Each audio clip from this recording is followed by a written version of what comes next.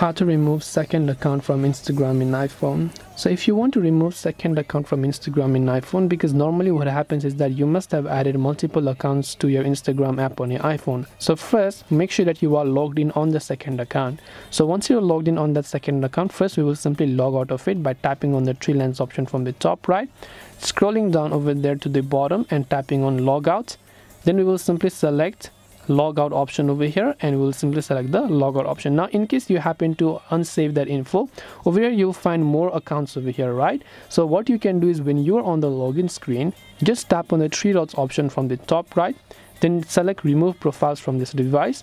Now over here you have to simply select and tap on the remove option next to your profile that you want to remove by tapping on the remove option and it will ask you for a confirmation to remove it so you can simply go ahead and remove from there as well and this way you'll be able to go ahead and then basically remove second Instagram account from iPhone.